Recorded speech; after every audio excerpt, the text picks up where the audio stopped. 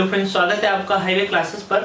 आज हम लोग प्रॉफिट एंड लॉस से कल हमने एक छोटा सा बेसिक सा लेक्चर देखा था और उसमें मैंने बताया काफ़ी इंपॉर्टेंट था, जिन लोगों ने अभी तक वो नहीं देखा। अगर वो डायरेक्ट ये वाला लेक्चर देख रहे हैं तो ये गलती ना करें कि पहला लेक्चर आपको देखना चाहिए। क्यों? क्योंकि मैंने उसमें बताया है कि लाभ और हानि कब जोड़कर अंश में लिखना है, कब हटाकर हान मतलब नीचे लिखना है, हर में लिखना है। और लाभ होगा तो कैसे होगा, हानि होगी तो कैसे होगी? और ये सारी बातें हमने बताई कि क्रय मूल्य क्या है, विक्रय मूल्य क्या है, लागत मूल्य क्या है, अंकित मूल्य, ये सारी चीज़ें जो है हमने आपके साथ बताई हैं और कैसे क्या है, क्योंकि पूरा बेसिक लेक्चर है, सारा का सारा प्रॉफिट एंड लॉस उस पर ही डिपेंड जाएगा, क्योंकि पहला हम सीखेंगे तो हम दूसरा जो है कड़ी के ऊपर कड़ी बनाते हुए चलेंगे इस प्रकार। अन्यथा आप जो है माइंड डिस्टर्ब होगा। तो आइए सीधे हम लोग डायरेक्ट क्वेश्चन पर चलते हैं और देखते हैं, पहला क्वेश्चन लिखा हुआ है कि एक वस्तु को तीन सौ नब्बे रुपए में विक्रय करने पर। अब विक्रय का मतलब कल ही हमने बताया आपको, विक्रय का मतलब जो होता है, वो होता है कि बेचना, यानी कि इसको हम लोग सेलिंग प्राइस कह सकते हैं। सेलिंग प्राइस यानी कि एसपी से नोट करते हैं, विक्रय लिखेंगे तो टाइम लगेगा। तो जो विक्रय मूल्य है, वो कितना है? तीन सौ नब्बे रुपए है। ठीक है जी। भाई, तीन सौ नब्बे रुपए हो गया विक्रय मूल्य। फिर आगे पढ़ रहे हैं तो देख रहे हैं कि विक्रय करने पर एक दुकानदार को 20 प्रतिशत का लाभ हुआ। लाभ कितने का हुआ?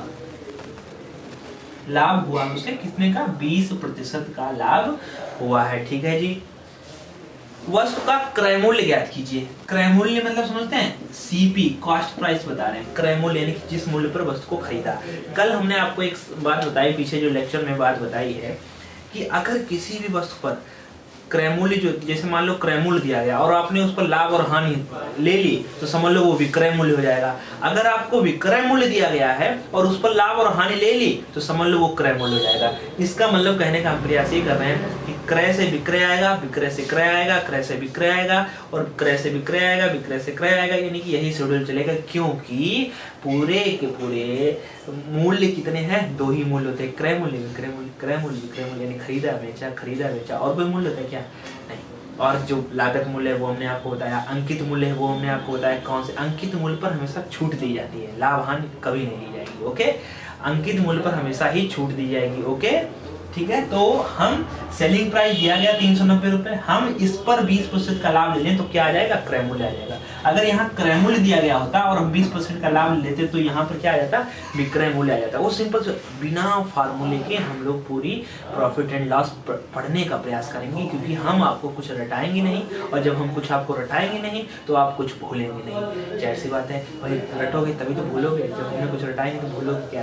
तो ये चीज़ ध्यान रखना। और कैसे क्या चीज़ें हैं बस सिंपल सिंपल कॉन्सेप्ट बताता रहूँगा, आप समझते रहना। सवाल स्टेप बाय स्टेप बढ़ता रहेगा, आपको पता भी नहीं चल पाएगा कि जो क्रय मूल्य पर लाभ लेना हो या हान लेना हो तो चाहे जो लेना हो, देखो, पिछले लेक्चर में आपको क्या बता चुके हैं कि जब हमें क्रय मूल्य दिया जाए, तब जो भी हमें जोड़ घटा के, जोड़ घटाने मतलब लाभ हो रहा है तो हम सौ में जोड़ देंगे और हानि हो रही है तो सौ में घटा देंगे। और परसेंट हटा के नीचे सौ लगाते हैं। ऐसा करेंगे।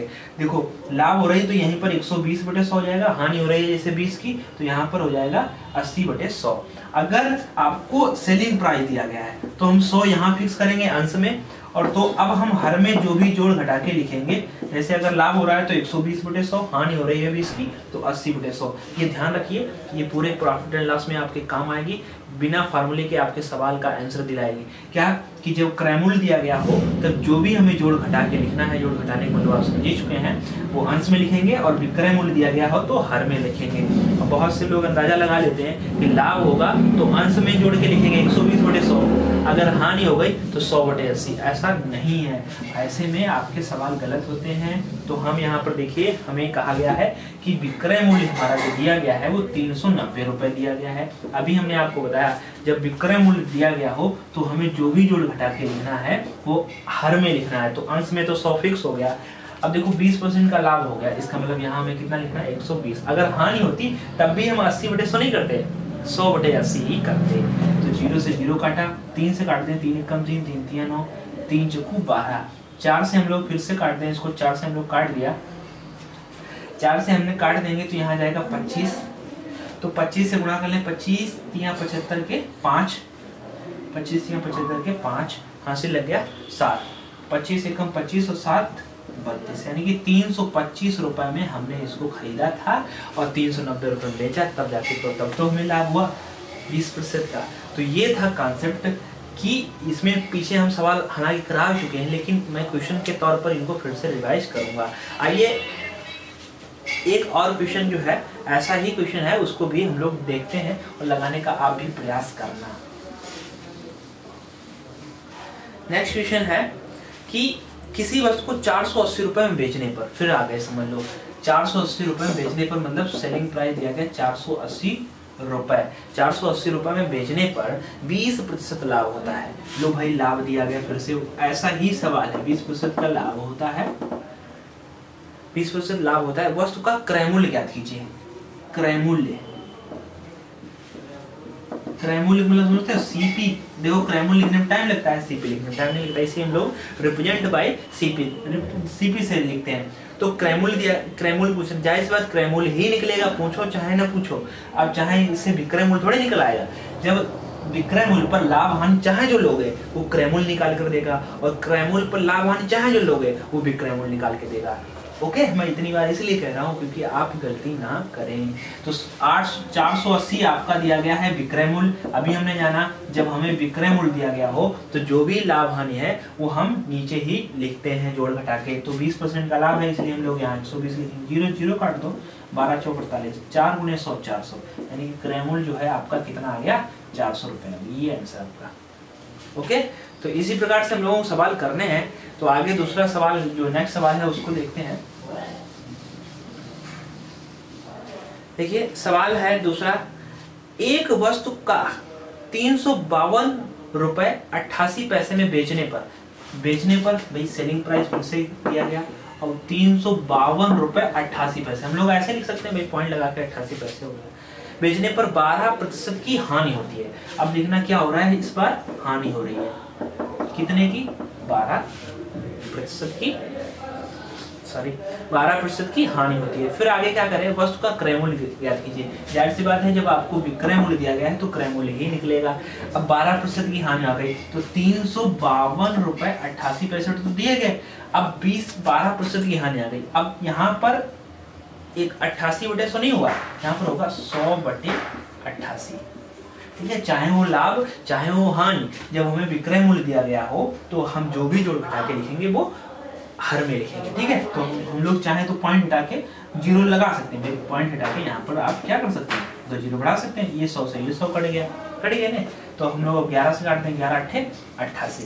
भाई, ग्यारह अट्ठे अट्ठासी, ग्यारह से काटा। तो चार सौ इसको भी ग्यारह से कटना ही पड़ेगा। तो हो सकता है कभी कभार नहीं भी कटता। देख लेते हैं। ग्यारह तीन तैतीस बचे दो। ग्यारह दूनी बाईस। और यहाँ अट्ठासी, ग्यारह अट्ठे अट्ठासी। अभी आप ऐसे लिखोगे तो आपने एक गलती कर दी है। यहाँ पर न जाने का ज़ीरो नहीं लगाया, जो कि बहुत सारे बच्चे करते हैं, आपने भी की होगी। होता है, कोई बात नहीं। आठ से हम लोग डिवाइड करें, आठ चुकू, बत्तीस, और ज़ीरो का ज़ीरो रहेगा, फिर आठ एकम आठ। इसका मतलब ये आ गया चार सौ एक रुपए। में अब हानि तो होनी ही थी, क्योंकि आपने बस कितने में खरीदी? चार सौ एक रुपए में। आप बेच कितने पाए? तीन सौ बावन रुपए अट्ठासी परसेंट। तभी तो हानि हो गई, बारह प्रतिशत की। ठीक है? तो ये था, एक तरीका था, चाहे पॉइंट में हो, कुछ भी हो, आपको सिस्टमेटिक करेंगे, आपका आंसर बिल्कुल एकदम से प्योर आएगा। हालाँकि कोई भी एग्ज़ाम रहा हो बेसिक सवाल अब ज़्यादातर वो लोग पूछने लगे हैं, क्योंकि बहुत से बच्चे ट्रिक वगैरह जो भी लेते रहते हैं तो बेसिक थोड़ा ध्यान रखें अच्छा रहता है। अभी हम आपको देखेंगे, सवाल इसके तौर पर कैसे आसानी से लगते हैं लाभ हानि के। दूसरा सवाल हम लोग देख लें दूसरा सवाल देखिएगा, लिखा हुआ है क्वेश्चन नंबर फोर यानी एक घड़ी दस प्रतिशत हानि पर पाँच सौ चालीस रुपए में बेची गई। ध्यान रखना, एक घड़ी जो है दस प्रतिशत हानि पर पाँच सौ चालीस रुपए में बेच दी गई। बेच दी गई मतलब सेलिंग प्राइस दिया गया कितना? पाँच सौ चालीस रुपए। में और इस पर पता है क्या हो गया? हानि हो गई। कितने की? दस प्रतिशत की। कह रहे हैं कि एक घड़ी दस प्रतिशत हानि पर पाँच सौ चालीस रुपए बेची गई। ठीक है? फिर आगे पढ़ते हैं, कह रहे पच्चीस परसेंट लाभ प्राप्त करने के लिए घड़ी को कितने रुपए में बेचना चाहिए? कह रहे हम तो लाभ प्राप्त करना चाहते हैं, और वो भी पच्चीस परसेंट का। तो हमें आप बताएँ कि हम घड़ी कितने में बेचे। अब देखिए सेलिंग प्राइस दिया गया सेलिंग प्राइस ही पूछ रहे हैं। अब थोड़ा इसमें समझ लेना, हम लोग कैसे सॉल्व करेंगे इस सवाल को बिना फॉर्मूले से ओके पाँच सौ चालीस रुपए की घड़ी। दस परसेंट की हानि पर बेची गई। तो पहले तो आप ये निकाल लें कि वस्तु खरीदी कितने की गई थी, है ना? क्रय आ जाएगा, फिर हम उस पर लाभ ले लेंगे तो विक्रय मूल्य आ जाएगा। ये सिस्टम चलेगा।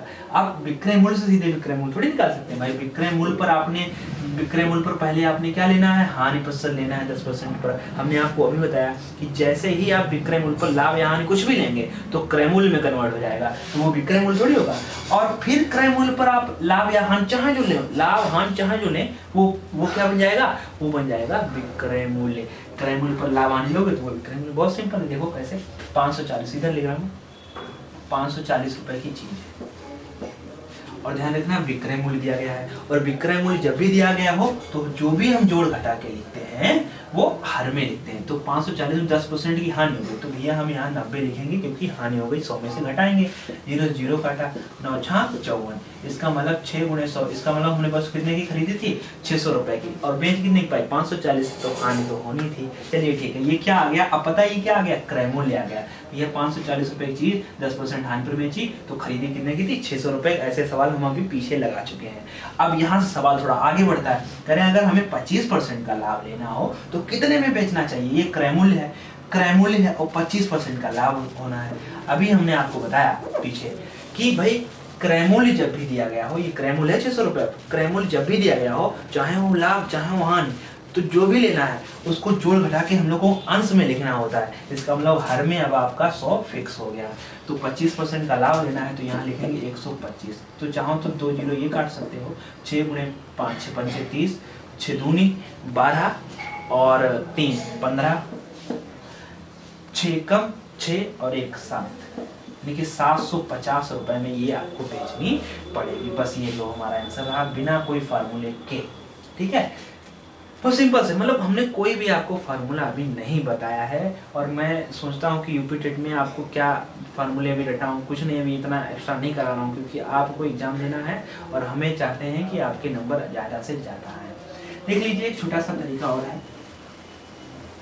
तो हमें यहाँ पर सेलिंग प्राइस लेना है ओके और फिर क्या करना है हमको? यहाँ पर हमको लेना है 100 प्लस माइनस यक्स हमने यहाँ पर लिख दिया 100 प्लस माइनस वाई लिख दिया।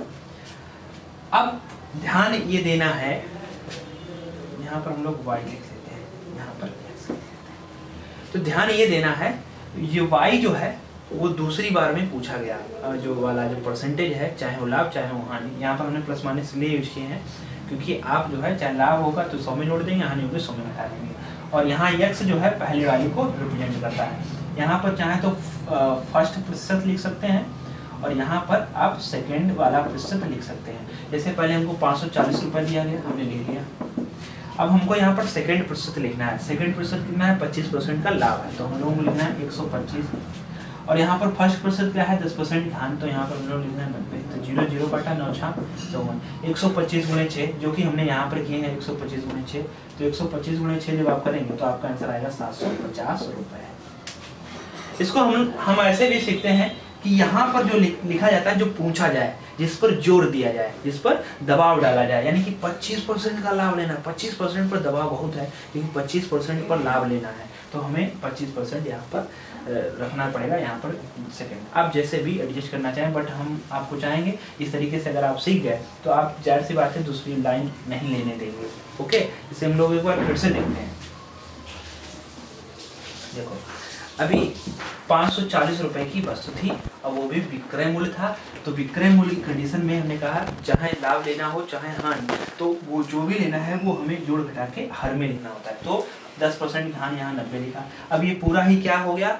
क्रयमूल्य हो गया भैया। विक्रय था, लाभ हानि हमने ले लिया क्रयमूल्य हो गया। क्रयमूल्य पर लाभ और हानि जो है जो लेना हो तो वो हमेशा जोड़ घटा के ऊपर लिखा जाता है इसका मतलब नीचे सौ फिक्स हो गया। क्रयमूल्य जब होगी पूरा क्रयमूल्य का कार्य करेगा क्रयमूल्य जब दिया गया हो तो चाहे जोड़ घटा के लोग लिखेंगे, वो ऊपर लिखेंगे और पच्चीस परसेंट का लाभ इसीलिए तो ये सौ से सौ पड़ गया। इसीलिए तो अभी फार्मूला बना था एक सौ पच्चीस नीचे हमने नब्बे लिखे एक सौ पच्चीस में छः, सात सौ पचास। ओके? तो जो तरीका आपको इजी लगे, वैसे आप बेसिक से आइए, कोई इसमें पूछा जाए या कुछ वगैरह हो सकता है कुछ पहले दे दिया जाए परसेंटेज या कुछ आगे पीछे कर दिया जाए, आपका सवाल गलत हो जाएगा। क्योंकि अभी आप इतना सेंस नहीं लगा पाएँगे। और अगर आप, हम मान के ऐसा चल रहे हैं कि यूपी टेट वाले जो है, पढ़ाई छोड़ देते हैं, ऐसा सुनने में आता है, या जो लगे रहते हैं, उनका अच्छी बात है। हालाँकि आपकी बात जो बहुत से पुराने हैं, हमारे पास रिक्वेस्ट आती है कि, सर, हम आपके ही सहारे हैं। तो हम भी उसी हिसाब से ही हम आपको मेंटर प्रोवाइड करा रहे हैं। ऐसा कुछ नहीं दे रहे हैं जिससे आपकी प्रॉब्लम क्रिएट हो। आइए हम लोग इससे आगे नेक्स्ट सवाल देखते हैं। क्वेश्चन नेक्स्ट क्वेश्चन देखते हैं। क्वेश्चन नंबर फाइव कहा गया, एक लैंप 25 परसेंट लाभ लेकर पैंतीस रुपए में बेच दिया गया। भाई सिंपल सी बात हो गई। पैंतीस रुपए में बेचा गया है, लेकिन लाभ लेकर। वो भी कितने का लाभ? ये सवाल बताएगा। 25 परसेंट का लाभ। 25 परसेंट का लाभ लेकर आपने पैंतीस रुपए में एक लैंप को बेच दिया। ठीक है, प्रति पंद्रह प्रतिशत लाभ प्राप्त करने के लिए, पंद्रह परसेंट। करें, पंद्रह परसेंट लाभ प्राप्त करने के लिए, लाभ जो है सॉरी लाभ जो है वो पंद्रह परसेंट प्राप्त करने के लिए। पच्चीस नहीं, पंद्रह, वो जिसकी मर्ज़ी, चाहे हानि में भी हो सकता है। यहाँ पे कह सकता है कि दस परसेंट हानि प्राप्त करने के लिए कि, कितने में बेचा जाइए यानी कि सवाल कह रहा है कि पंद्रह प्रतिशत लाभ प्राप्त करने के लिए लैंप को कितने रुपए में बेचना चाहिए? यानी कि फिर से आपको सेलिंग प्राइस पूछ रहे हैं। अब डायरेक्ट तो सेलिंग प्राइस पर जंप नहीं करते हैं, ऐसा हम लोग सीख चुके हैं। ओके सीटी लग जाने दीजिए। थोड़ा मज़ा लीजिए ठीक है, कोई बात नहीं।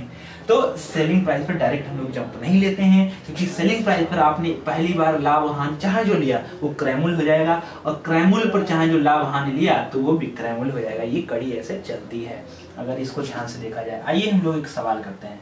पैंतीस रुपए जो है विक्रय मूल्य है, पैंतीस रुपए विक्रय मूल्य है, और लाभ लेना है पहले में पच्चीस परसेंट का। अभी हम बता चुके हैं कि विक्रय मूल्य दिया गया हो, चाहे तो वो लाभ सॉरी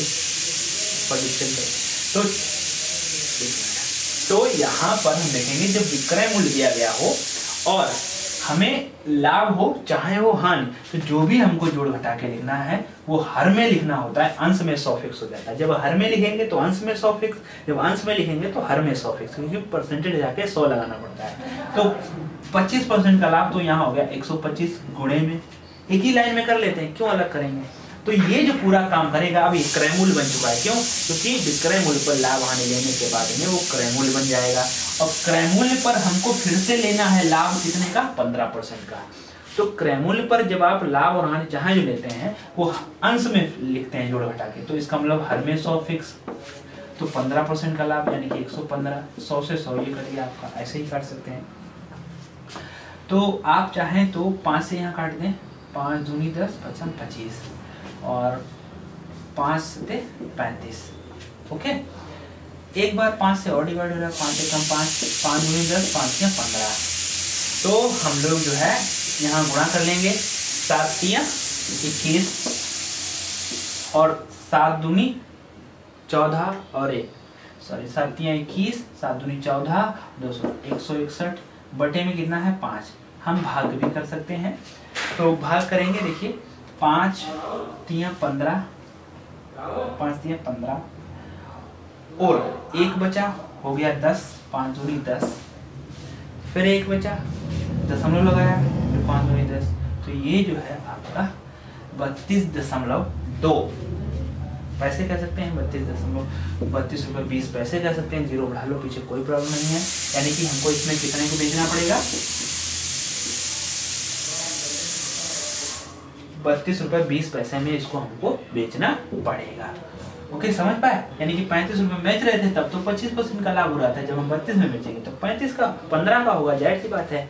तो इस हिसाब से क्वेश्चन आप लगाएँ और सिंपल तरीके से बता रहे हैं आपको। इसमें अभी हमने बताया, जैसे जो विक्रय मूल्य दिया गया, वो ले लो। दूसरे वाला परसेंटेज हम लोग ऊपर लिखते हैं तो पंद्रह परसेंट का लाभ तो यहाँ एक सौ पंद्रह। पहला वाला परसेंट नीचे तो पच्चीस परसेंट वाला एक सौ पच्चीस। पाँच से काटा तो यहाँ आ गया पच्चीस। फिर पाँच से काटा यहाँ आ गया, सात, फिर पाँच से काट दो, यहाँ पाँच आ गया, फिर यहाँ से आ गया, तेईस। देखो, तेईस सत्य से होते हैं एक सौ इकसठ।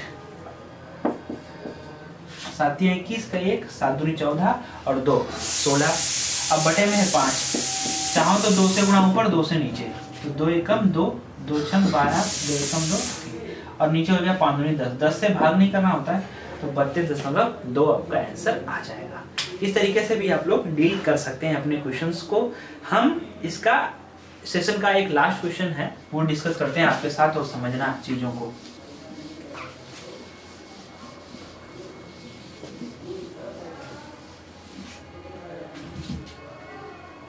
तो क्वेश्चन नंबर जो सिक्स है, वो कहा गया है कि एक वस्तु तीस प्रतिशत हानि पर इक्कीस सौ रुपए में बेची गई।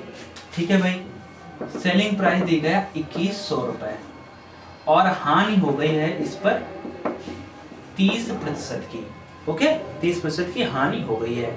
फिर हमारा सवाल कह रहा है कि वर्ष को कितने रुपए बेचा जाए जिससे केवल आठ प्रतिशत हानि हो? कह रहे हैं केवल, कितने बेचा जाए? केवल हमको आठ परसेंट की हानि ही चाहिए। कितने बेचा जाए? फिर सेलिंग प्राइस हम लोग सेलिंग प्राइस पर डायरेक्ट जंप नहीं करेंगे। सेलिंग प्राइस पर हम लोग हानि वाला पहले कॉन्सेप्ट सीखेंगे। तो देखिए, इक्कीस सौ रुपए आपका हो गया।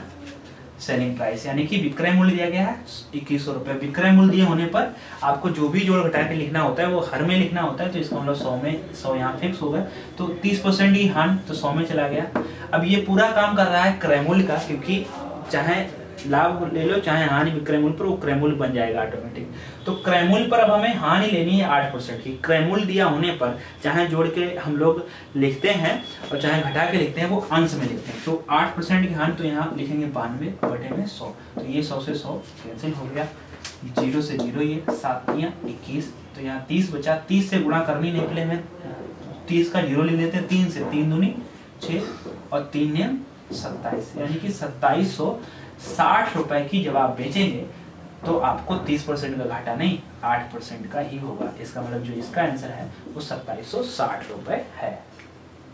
आई होप हम आपको इतनी चीज़ जो है समझाने में सामर्थ रहे हैं। सेम इसी प्रकार जैसे हमने कहा, इक्कीस सौ रुपये आप लिख लीजिए, गुणे में दूसरा परसेंटेज तो दूसरा परसेंट आठ का है तो आठ परसेंट यहाँ तो बानवे पहला परसेंट नीचे तो तीस का है तो सत्तर, ज़ीरो ज़ीरो काट सत्या इक्कीस। तो तीस से बानवे में अभी हमने गुणा की है तो ये आपका आंसर आएगा सत्ताईस रुपए। ओके? ठीक है, हम लोग इस सेशन में इतना ही सीखते हैं। इसके आगे आने वाले सेशन में हम लोग इम्पोर्टेंट कॉन्सेप्ट सीखेंगे लाभ हानि के, ओके? जिसमें एक रुपए में छह की तरह से ऐसे बहुत सारे कॉन्सेप्ट हैं मिला थैंक यू मिलते हैं नेक्स्ट लेक्चर में।